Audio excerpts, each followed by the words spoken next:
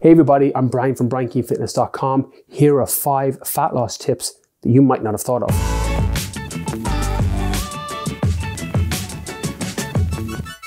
When it comes to fat loss, it's a very straightforward process. You get into a calorie deficit so that you can tap into the fat stores in your body and use that for fuel versus the food that you're eating. And as straightforward as that is, sometimes it's not that easy to apply. And I've covered this on other videos in different books and in different programs. But if you're already doing that, here are six more things that might be beneficial when you're trying to get into that calorie deficit to lose body fat.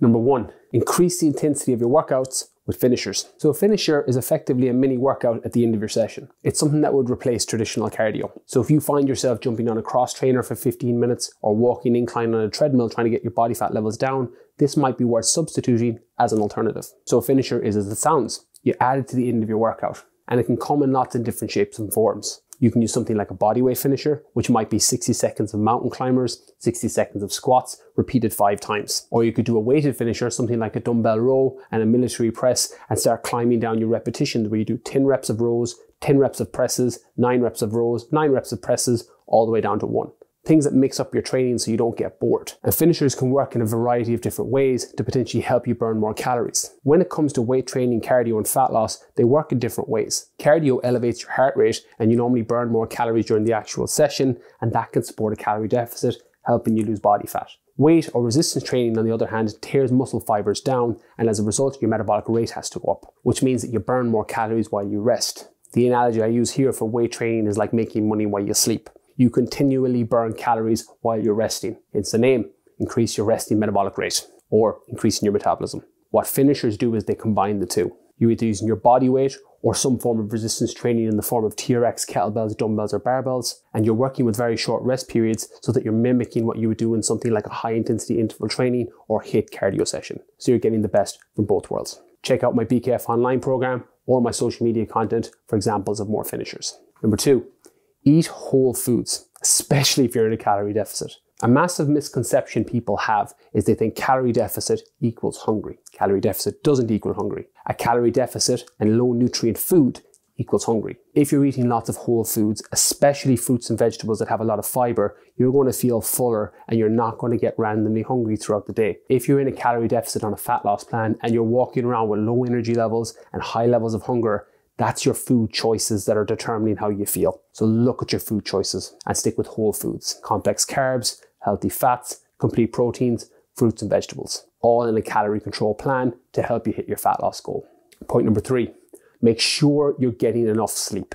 One element that's often overlooked when it comes to fat loss is sleep quality. Generally, when we think fat loss, we normally think of our food first, or potentially workouts first, or a combination of the two, and we can neglect sleep. But sleep is right up there with nutrition and training, if not above them. If you're getting poor quality sleep, this is going to make it so much harder to stick to a calorie deficit nutritional plan. One, your energy levels are lower, so you're more likely to reach out for foods that are going to increase that energy level, i.e., sugars, carbohydrates, etc. And you're also going to get a downregulation of the hormones that are going to support satiety and hunger that come with a lack of sleep. Ghrelin, your hunger hormone, that becomes downregulated with poor sleep, meaning that you're feeling hungry a lot more than you would on a normal day. Leptin, your satiety hormone, it's the hormone that tells your brain that you're full. This becomes downregulated when you're not sleeping well also, which means that even though you're eating good quality meals, you're not feeling satiated at the end. That comes down to your sleep quality. Add this with lower movement throughout the day because you're feeling tired, and you have a recipe for fat gain. So focus on high quality sleep. How much you need will vary person to person. Some need seven hours, some need eight, some need nine hours plus. So experiment and find what works best for you. And if you need a sleep routine and different sleep supplements, maybe go check out some of the sleep podcasts I've done on the Brian Keane podcast.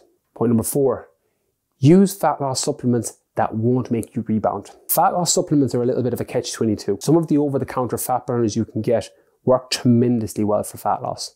I'm not going to say that they don't. They will suppress appetite, so you eat less. They will increase energy levels, so you move more, but they'll also lead to a rebound, meaning that once you come off them, your appetite will go up and your energy levels will go down, your fat levels will go back up with it. So for the most part, I'm not a fan of the high stimulated fat burners that you can buy over the counter. That being said, there are some that I do like, green tea extract being one.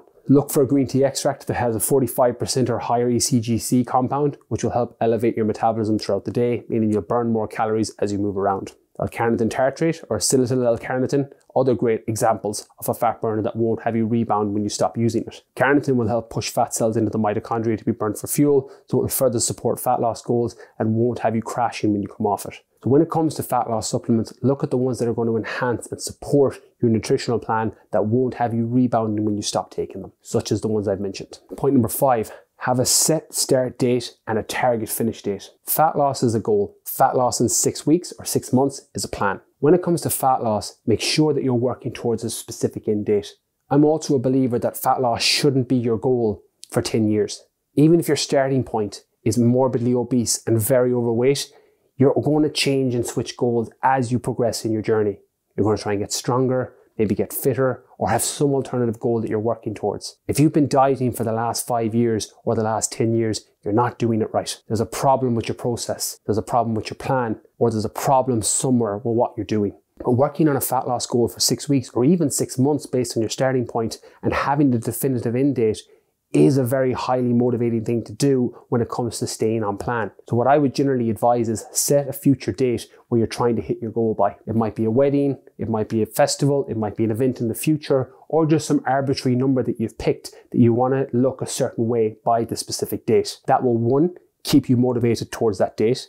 Two, help keep you focused when you fall off track so you can reset and go again because you're still working towards that end date in the future. I couldn't be a bigger believer when it comes to setting micro goals and macro goals when it comes to a fat loss target. Otherwise, it's too difficult to stay motivated to stay on plan. So if you've ever uttered the words, oh, I'm just not feeling motivated, that's because you're not working towards a target date. Motivation is horseshit when it comes to fat loss. It's about what you consistently do over time that determines your results. Motivation is just the way you feel. It will ebb and flow on certain days. Some days you'll feel motivated, some days you won't. It's about what you consistently do over time that's going to determine your results. So set a plan, set a target date in the future that you want to hit your goal by, and work towards that. So there you have it, five fat loss tips you may not have thought of. Let me know what your thoughts were in the comments. And as always, if you enjoyed this video, hit that subscribe, hit that like button for videos coming each and every week.